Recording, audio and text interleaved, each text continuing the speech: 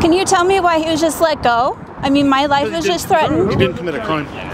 He just hit someone. Russell no, is hurt. no, he didn't. I have it on video. Okay, well, we, we were standing there and we watched the whole thing. Well, I have it on video. So is it your word against mine with the with two different types of video? We're not taking sides anywhere. Okay. Well, But you just told me he didn't commit a crime. Okay, honey. Why'd you leave him alone? Why'd you let him go?